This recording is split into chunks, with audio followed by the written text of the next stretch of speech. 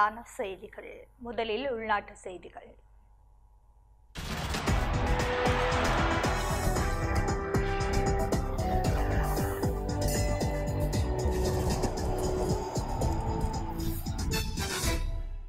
Corona உயிரிழப்புகள் எதிர்காலத்தில் உச்சத்தை அடையும் என அரசு மருத்துவ அதிகாரிகள் சங்கம் எச்சரித்துள்ளது. நாட்டில் கொரோனா தொற்றுக்குள்ளானவர்களின் இறப்பு விகிதம் தொடர்ந்து அதிகரித்து செல்லும் நிலையில் எதிர்காலத்தில் உயிரிழப்புகள் அதிகரிக்கும் என அரச மருத்துவ அதிகாரிகள் சங்கம் எச்சரிக்கை விடுத்துள்ளது. இது தொடர்பில் கருத்து வெளியிட்டுள்ள அரச மருத்துவ அதிகாரிகள் சங்கத்தின் தலைவர் மருத்துவர் ஹரித் வெளிநாடுகளைப் போன்று இலங்கையிலும் கொரோனா வைரஸால் வீடுகளிலேயே மக்கள் இறக்கின்றார்கள். இதனால் கொரோனா தொற்றாளர்களின் எண்ணிக்கை அதிகரித்து செல்வது போன்று கொரோனா மரணங்களும் எதிர்வரும் நாட்களில் உச்சத்தை அடையும் நிலைமை ஏற்பட்டுள்ளது என எச்சரிக்கை விடுத்துள்ளார். கொரோனாவை கட்டுப்படுத்த அரசு முன்னெடுக்கும் நடவடிக்கைகள் திருப்திகரமாக இல்லை. தொற்று பரவுவதை கட்டுப்படுத்த முறையான நடவடிக்கைகளை எடுக்காமல் சரியான பொறிமுறையை வகுக்காமல் அரசு இருந்தால் எதிர்வரும் நாட்களில் நாடு பேராபத்தை சந்திக்க வேண்டி வரும். நாடு முழுவதையும் தொடர்ந்து முடக்க வேண்டிய நிலைமை உருவாகும். தற்போது கொரோனாவால் வீடுகளுக்குள்ளேயே மக்கள் இறக்கின்றார்கள். பிரேத பரிசோதனைகளின் போதே அவர்களுக்கு கொரோனா தொற்று உறுதி செய்யப்படுகின்றது. இதனால் நாடெங்கிலும் வீடு வீடாக சென்று பிசிஆர் பரிசோதனைகளை மேற்கொள்ள வேண்டிய நிலைமை ஏற்பட்டுள்ளது. பிசிஆர் பரிசோதனை முடிவுகளை சில மணி நேரத்துக்குள் வெளியிடுவதற்கான ஒரு பொறிமுறையை அரசு உடனடியாக வகுக்க வேண்டும். இல்லையில் கொரோனா வைரஸ் பரவுவதை உடன் கட்டுப்படுத்துவது கடினமாகும் என்றும் அவர் தெரிவித்துள்ளார். நாட்டில் கொரோனா தொற்று காரணமாக உயிரிழந்தவர்களின் மொத்த எண்ணிக்கை நாற்பத்தாறாக உயர்வடைந்துள்ளது. நாட்டில் கொரோனா தொற்றுக்குள்ளாகி மேலும் ஒருவர் உயிரிழந்துள்ளதாக அரசாங்க தகவல் திணைக்களம் தெரிவித்துள்ளது. எம்புல்குட பகுதியைச் சேர்ந்த அறுபத்தி மூன்று வயதுடைய ஆண் ஒருவரே இவ்வாறு உயிரிழந்துள்ளார். இவர் மகரகம அபிக்ஷா மருத்துவமனையில் சிகிச்சை பெற்று வந்த நிலையில் உயிரிழந்துள்ளார்.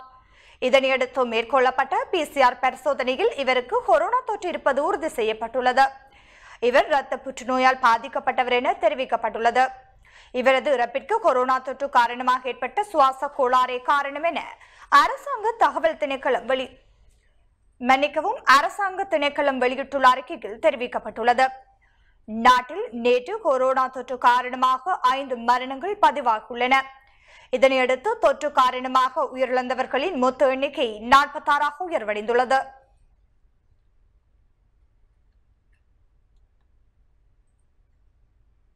நாட்டில் கொரோனா தொற்றுக்குள்ளானோரின் மொத்த எண்ணிக்கை பதினையாயிரத்து முன்னூற்று ஐம்பதாக அதிகரித்துள்ளது.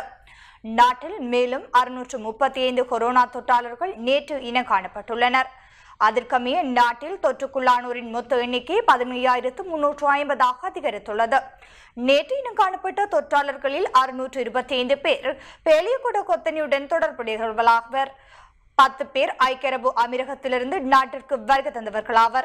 பேலியகுடம் மற்றும் மினுவாங்குட கொத்தணிகளுடன் தொடர்புடைய தொற்றாளர்களின் எண்ணிக்கை பதினோராயிரத்து எண்ணூற்று ஐம்பத்தி எட்டாக உயர்வடைந்துள்ளது. இனம் காணப்பட்ட மொத்த தொற்றாளர்களில் பத்தாயிரத்து நூற்று எண்பத்து மூன்று பேர் குணமடைந்துள்ளதோடு ஐயாயிரத்து நூற்று இருபத்தொரு பேர் சிகிச்சை பெற்று வருகின்றனர். இதேவேளை ஐநூற்று இருபத்தி மூன்று பேர் கொரோனா தொற்று சந்தேகத்தில் சிகிச்சை பெற்று வருகின்றனர். அத்துடன் நேற்று நாட்டில் கொரோனா தொற்று காரணமாக ஐந்து பேர் உயிரிழந்திருந்தனர். இதனையடுத்து நாட்டில் உயிரிழந்தவர்களின் மொத்த எண்ணிக்கை நாற்பத்தாறாக உயர்வடைந்துள்ளது.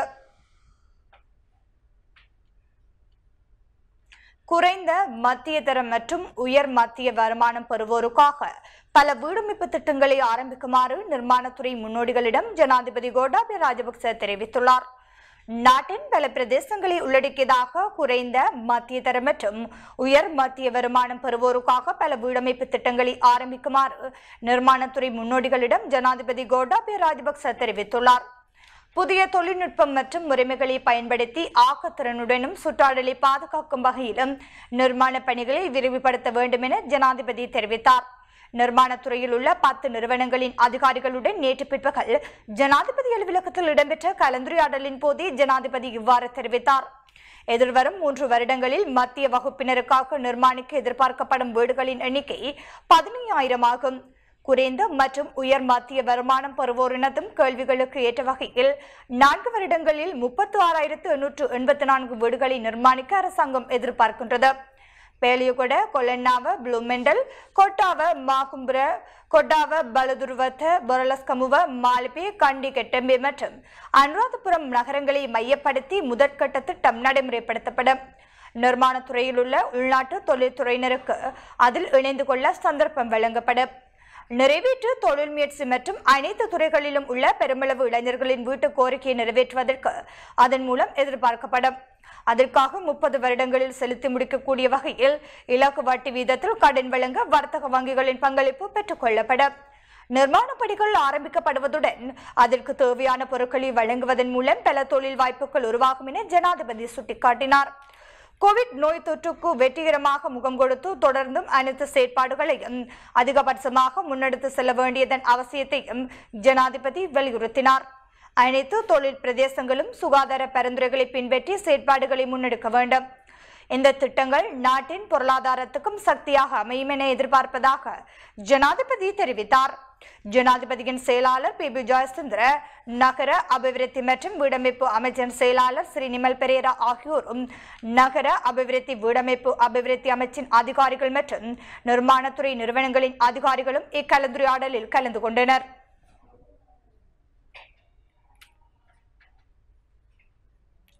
கிழக்கு மாகாணத்தில் அமைந்துள்ள தீகவாவி புனித பூமியில் உள்ள தாது கோபுரத்தை புனரமைக்கும் பணி ஆரம்பிக்கப்பட்டுள்ளது.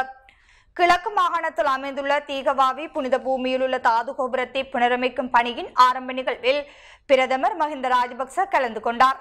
முதலில் சமய வழிபாடுகளில் ஈடுபட்ட பிரதமர் அதனைத் தொடர்ந்து பிரித் பாராயணத்துக்கு மத்தியில் தாது கோபுர புனரமைப்பு பணிகளின் ஆரம்ப நிகழ்வை முன்னிட்டு அடிக்கல் நாட்டி வைத்தார்.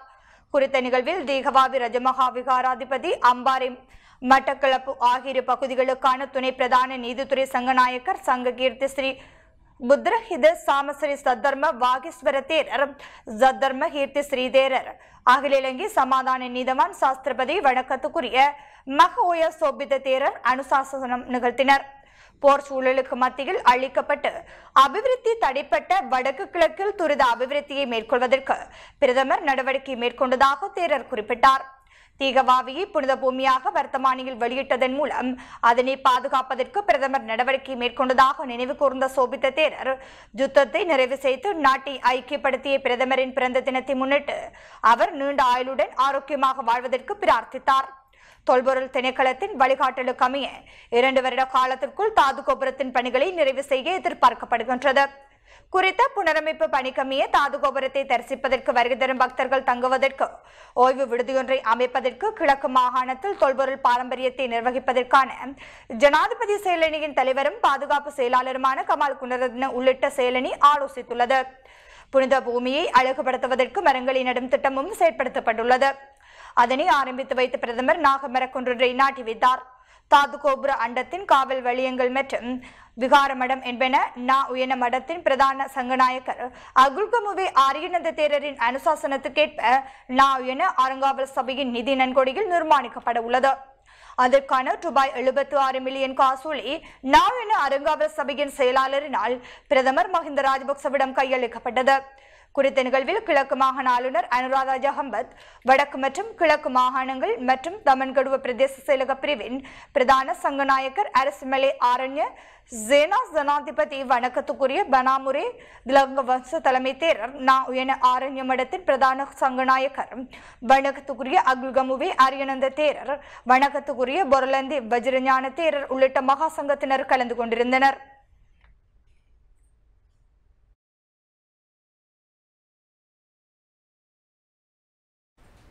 ஜனாதிபதி தேர்தலில் போட்டியிடுவதற்கான அதிகப்படியான வயது எல்லையை ஐம்பத்து ஐந்திற்குள் மட்டுப்படுத்துவதற்கு நடவடிக்கை மேற்கொள்ளப்பட உள்ளது.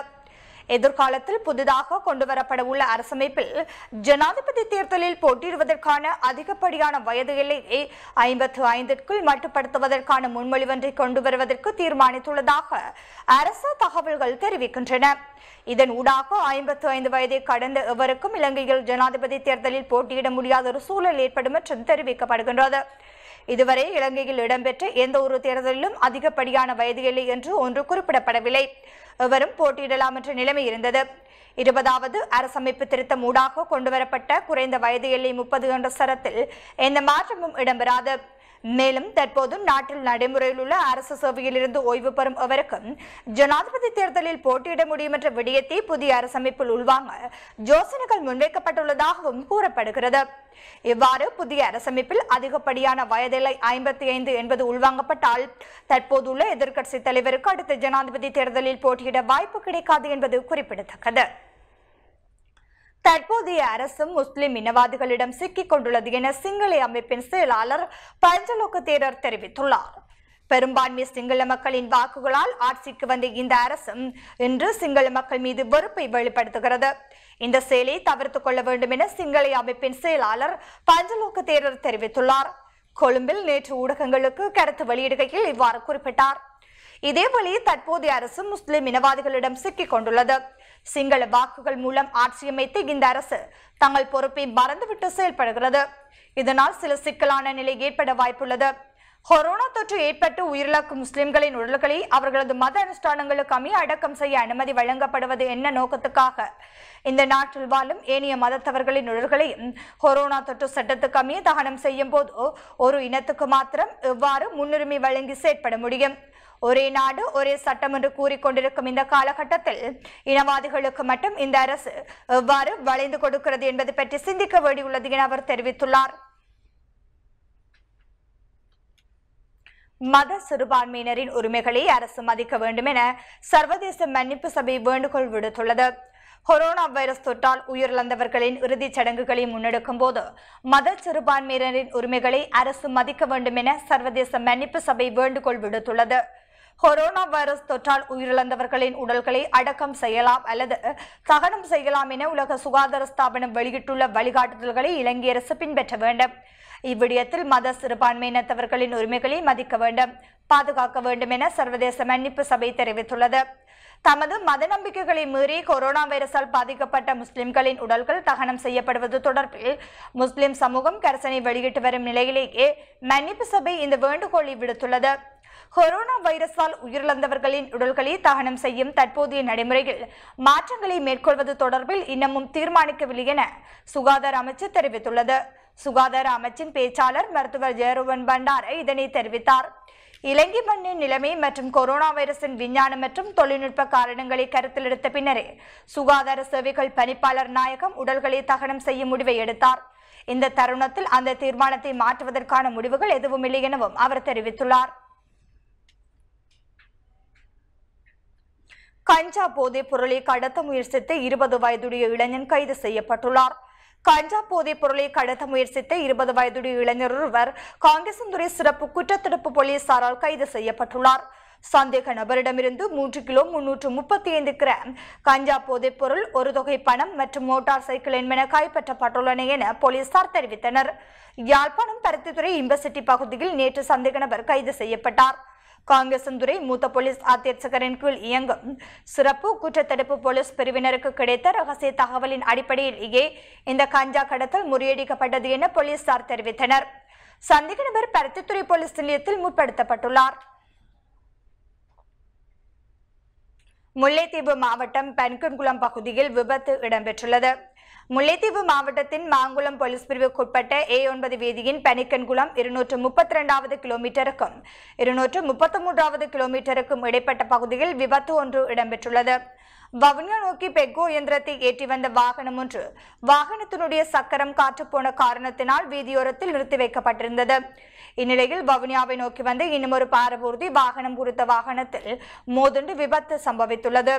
குறித்த வாகனங்கள் கடுமையாக மோதுண்டு சேதமடைந்துள்ள போதும் உயிர் சேதங்கள் எதுவும் ஏற்படவில்லை என தெரிவிக்கப்படுகிறது. சம்பவம் தொடர்பில் மாங்குளம் போலீசாருக்கு தகவல் வழங்கப்பட்ட நிலையில் சம்பவ இடத்துக்கு சென்று ஆராய்ந்த நிலையில் மேலதிக விசாரணைகளை முன்னெடுத்து வருகின்றனர்.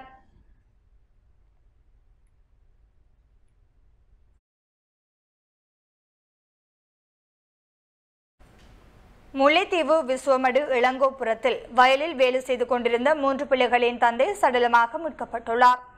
முல்லைத்தீவு மாவட்டத்தின் புதுக்குடியிருப்பு போலீஸ் பிரிவுக்குட்பட்ட விஸ்வமடு இளங்கோபுரத்தில் வயலில் வேலை செய்து கொண்டிருந்த மூன்று பிள்ளைகளின் தந்தையொருவர் சடலமாக மீட்கப்பட்டுள்ளார். நாற்பத்தோரு வயதுடைய மாரிமுத்து சுதாகரன் என்ற மூன்று பிள்ளைகளின் தந்தையை இவ்வாறு சடலமாக மீட்கப்பட்டுள்ளார். நேற்று காலை வயலில் வரம்பு வெட்டி கொண்டிருந்த வேளை இவர் வயலில் விழுந்து உயிரிழந்துள்ளதாக அவரது உறவினர்கள் தெரிவித்துள்ளனர். சம்பவம் குறித்து சம்பவ இடத்துக்கு சென்ற புதுக்குடியிருப்பு போலீசார் விசாரணை நடத்தி வருவதுடன் பிரேத பரிசோதனைக்காக உடலம் மாவட்ட மருத்துவமனைக்கு கொண்டு செல்லப்பட்டுள்ளது.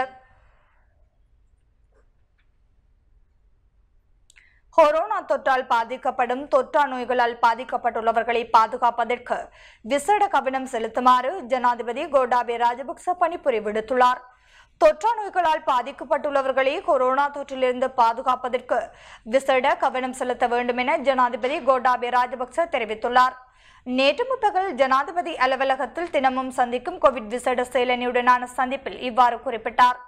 இதன்போது கொரோனா பரவல் மற்றும் அதனை கட்டுப்படுத்துதல் தொடர்பான தற்போதைய நிலை எதிர்காலத்தில் எழக்கூடிய வைரசுடன் தொடர்புடைய நோய்களை கட்டுப்படுத்தல் மற்றும் மக்களின் சுகாதார பாதுகாப்பை உறுதிப்படுத்துவதற்காக எடுக்கப்பட வேண்டிய நடவடிக்கைகள் மற்றும் ஆராயப்பட வேண்டிய துறைகள் தொடர்பில் விரிவாக கலந்துரையாடப்பட்டது. அத்துடன் சிறைச்சாலைகளின் நிலைமைகள் மற்றும் நோய் பரவலை தவிர்ப்பதற்காக எடுக்கப்பட்டுள்ள நடவடிக்கைகள் தொடர்பாகவும் கவனம் செலுத்தப்பட்டது. இந்நிலையில் கருத்து வெளியிட்ட ஜனாதிபதி கோட்டாபே ராஜபக்ச மேல் மாகாணத்திலிருந்து ஏனைய மாகாணங்களுக்கான பயணங்களை தவிர்ப்பதற்கு நடவடிக்கை எடுக்க வேண்டும் என வலியுறுத்தினார். ஏனைய நாடுகளைப் போன்று எமது நாட்டிலும் பதிவாகியுள்ள கோவிட் மரணங்களின் எண்ணிக்கையில் தொன்னூற்று மூன்று வீதமானவற்றுக்கு காரணம் தொற்றா நோய்களால் பாதிக்கப்பட்டுள்ளவர்களுக்கு வைரஸ் தொற்று ஏற்பட்டிருப்பதாகும் என வைத்தியர்கள் சுட்டிக்காட்டியுள்ளனர். இருதய நோய் நீரிழிவு சிறுநீரக நோய் மற்றும் புற்றுநோய் போன்றவற்றால் பாதிக்கப்பட்டுள்ளவர்கள் மிக வேகமாக கோவிட் தொற்றுக்குள்ளாகின்றனர். பெரும்பாலானவர்கள் நோய் அறிகுறிகள் இன்றியே மரணத்தை தழுவியுள்ளனர். பின்னர் மேற்கொள்ளப்பட்ட பிசிஆர் பரிசோதனைகளின் போது அவர்கள் கோவிட் தொற்றுக்குள்ளாகி இருப்பது உறுதி செய்யப்பட்டுள்ளது. இது தொடர்பில் விசேட கவனம் செலுத்தி தொற்றா நோய்களால் பாதிக்கப்பட்டுள்ளவர்களை பாதுகாப்பதற்கும் கோவிட் நோய் தொற்றிலிருந்து விலகி இருப்பதற்கும் தேவையான ஆலோசனைகளையும் வழிகாட்டுதல்களையும் உடனடியாக வழங்க வேண்டும். பிரதான வைத்தியசாலைகளுக்கு செல்வதில் மக்கள் எதிர்கொள்ளும் கஷ்டங்களை இனம் கண்டு ஒரு காலத்தில் நாடு பூராகவும் வெற்றிகரமாக நடைமுறைப்படுத்தப்பட்ட பிரதேச மருந்தகங்களை உடனடியாக செயற்படுத்த வேண்டும். அதற்கு தேவையான மருத்துவர்கள் தாதிகள் மற்றும் ஏனைய பணிக்குழாமினரை உடனடியாக நியமிக்க வேண்டும். தனிமைப்படுத்தப்பட்டுள்ள பிரதேசங்களுக்கு பொருட்களை விநியோகிக்கும் நடவடிக்கைகளுடன் சம்பந்தப்படும் தரப்பினர் சரியாக நடைமுறைகளை பேணுகின்றனரா என்பதை தொடர்ச்சியாக கண்காணிக்க வேண்டும். அப்பிரதேசங்களில் இருந்து உட்செல்வதற்கோ வெளியேறுவதற்கோ எவருக்கும் இடமளிக்க கூடாது. கோவிட் நோய் தொற்றுடையவர்கள் அதிகம் இனங்காணப்பட்டுள்ள மேல் மாகாணத்தில் இருந்து ஏனைய மாகாணங்களுக்கான பயணங்களை தவிர்ப்பதற்கு நடவடிக்கை எடுக்க வேண்டும் என குறிப்பிட்டுள்ளார். இக்கலந்துரையாடலில் சுகாதார அமைச்சர் பவித்ரா வெண்ணியாராச்சி அமைச்சர் ஹெகலிய ரம்புக்வெல நாடாளுமன்ற உறுப்பினர்களான பிரேமநாத் ஜீல் சீதொலவத்த பிரமித பண்டார தென்னக்கோன் ஜனாதிபதியின் தலைமை ஆலோசகர் லலித் வீரதுங்க ஆகியோரும் கோவிட் செயலணி உறுப்பினர்களும் பங்கேற்றனர்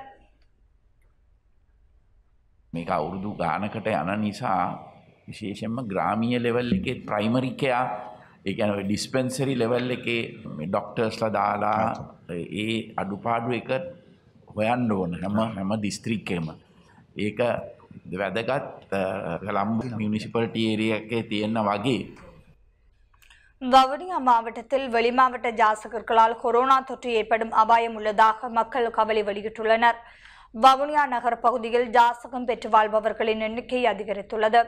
வெளிமாவட்டங்களில் இருந்து கை குழந்தைகளுடன் அதிகளவான ஜாசகம் பெறுவோரின் குடும்பங்கள் வருகை தந்திருப்பதை அவதானிக்க முடிகின்றது. வவுனியா பழைய பேருந்து நிலையம் மற்றும் நகர் பகுதிகளின் சில இடங்களிலும் குடியிருப்பு குளத்தின் ஓரங்களிலும் ஜாசகர்கள் குடும்ப சகிதமாக வருகை தந்து எந்த விதமான சுகாதார நடைமுறைகளையும் கடைபிடிக்காமல் தங்கியுள்ளனர். இதன் காரணமாக வெளி மாவட்டங்களில் இருந்து கொரோனா வைரஸ் காவிகளாக ஜாசகர்கள் செயற்படக்கூடிய சந்தர்ப்பம் உருவாகியுள்ளது. இதேவேளை ஆண்பெண் வித்தியாசமின்றி மது அருந்துதல் தகாத வார்த்தைகள் பேசுதல் சண்டை போடுதல் போன்ற விரும்பத்தகாத செயல்களில் ஜாசகர்கள் ஈடுபட்டு வருகின்றனர். இந்நிலையில் கொரோனா தொற்று பரவலின் மத்தியில் சம்பந்தப்பட்ட அதிகாரிகள் விரைந்து நடவடிக்கை எடுக்க வேண்டும் என மக்கள் கோரிக்கை விடுத்துள்ளனர்.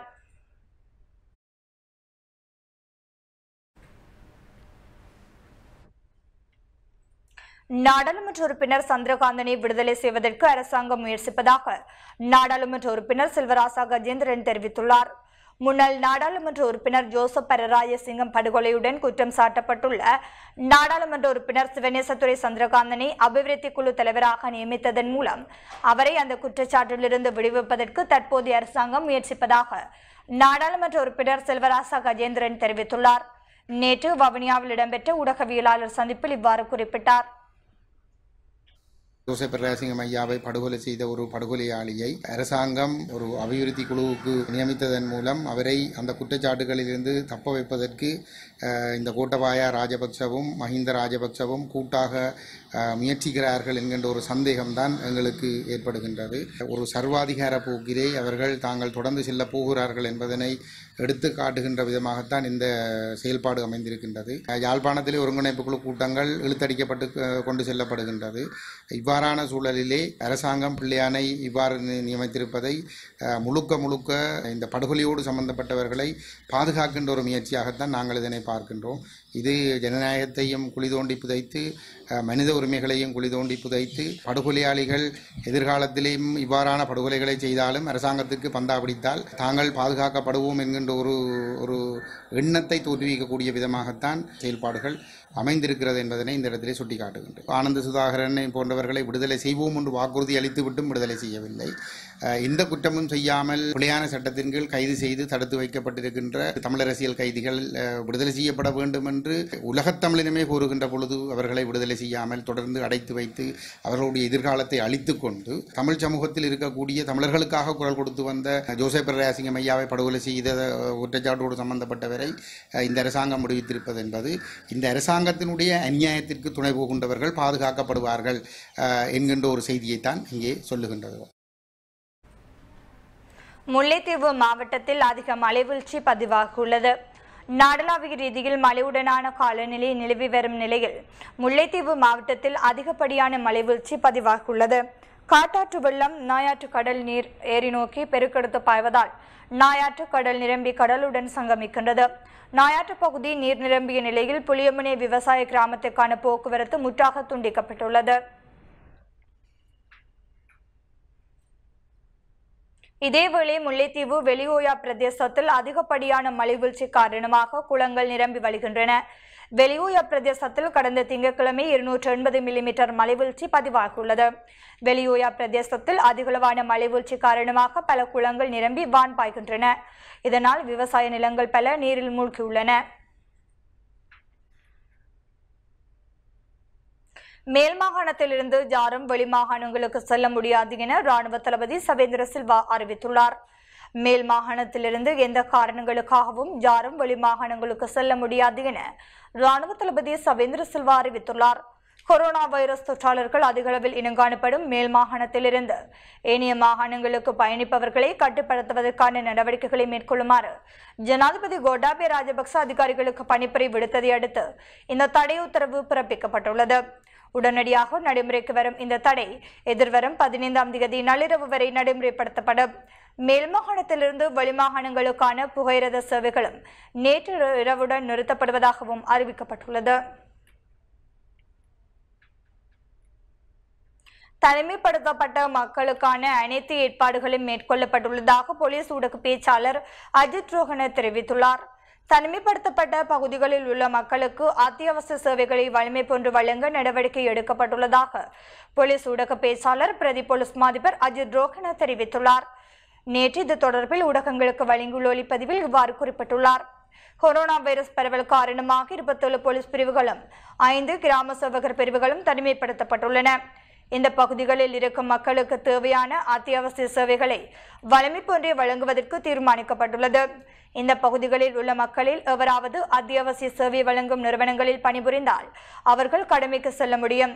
தனிமைப்படுத்தப்பட்டுள்ள பகுதிகளுக்கு அவசியமான நீர் மின் விநியோகம் உள்ளிட்ட அத்தியாவசிய சேவைகளை வழங்கவும் நடவடிக்கை எடுக்கப்பட்டுள்ளது. இவர்களை தவிர வேறு நபர்கள் எவருக்காவது வேறு பகுதிகளுக்கு செல்ல வேண்டிய தேவை ஏற்பட்டால் அவர்கள் சுகாதார சேவைகள் பணிப்பாளர் நாயகத்திடம் அனுமதி பெற்றுக் கொள்ள வேண்டும். தனிமைப்படுத்தப்பட்டுள்ள பகுதிகளில் பயணக்கட்டுப்பாடு விதிக்கப்பட்டுள்ளது. அதற்கு எதிராக செயற்பட்ட இருவர் கைது செய்யப்பட்டுள்ளனர். கந்தானி பகுதியை சேர்ந்த இருவரே இவ்வாறு கைது செய்யப்பட்டுள்ளனர். தனிமைப்படுத்தப்பட்டுள்ள பகுதிகளில் இருப்பவர்கள் அத்தியாவசிய தேவைகள் எதுவுமின்றி வீட்டை விட்டு வெளியேறுவதை தவிர்த்துக் கொள்ள வேண்டும். கூட்டங்கள் விழாக்கள் விருந்து பிரசாரங்கள் மற்றும் நிகழ்வுகள் என்பனவற்றை ஏற்பாடு செய்வதையும் தவிர்த்து கொள்ள வேண்டும் என குறிப்பிட்டுள்ளார்.